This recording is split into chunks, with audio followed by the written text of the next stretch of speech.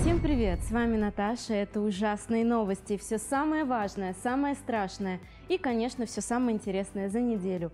В этом выпуске поговорим о возвращении Пилы, Годзиллы и журнала Даркер. И еще немного о маньяке Тедди Банди.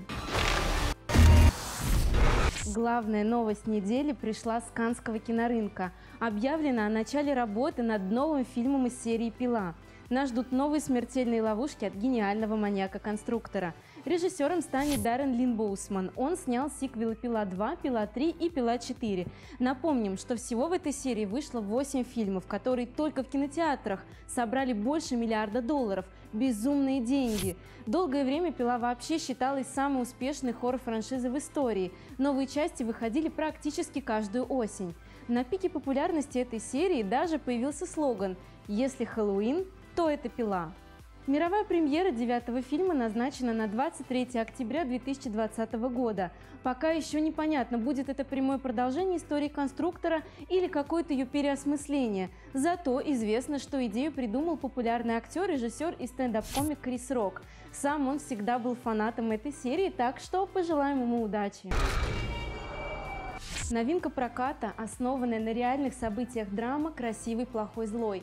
Мировая премьера фильма состоялась на фестивале Sundance, потом он появился на стриминговом сервисе Netflix, ну а теперь добрался и до российских кинотеатров.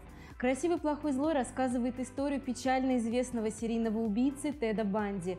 Повествование ведется с точки зрения Элизабет, девушки Банди, которая многие годы не могла поверить в то, что ее парень был способен совершить все эти ужасные преступления.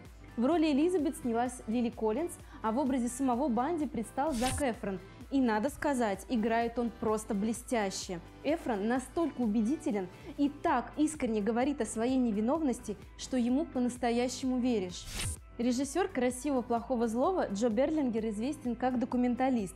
Недавно он выпустил документальный фильм «Все о том же Тедди Банди». И, судя по всему, маньяк был одновременно харизматичным, умным и обаятельным манипулятором, и в то же время садистом, насильником и серийным убийцей.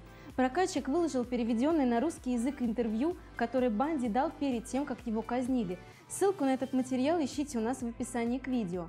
В общем, если тема маньяка вам интересна, посмотреть это кино стоит. Но только не ждите кровавых сцен и лихо закрученного сюжета, ведь все-таки в первую очередь «Красивый, плохой, злой» – это не триллер, а именно драма. Главной премьерой следующей недели станет «Годзилла 2. Король монстров». Это сиквел американского фильма пятилетней давности, и новая работа обещает стать настоящим побоищем гигантских монстров кайдзю. «Короле монстров» будет действовать криптозоологическая организация «Монарх».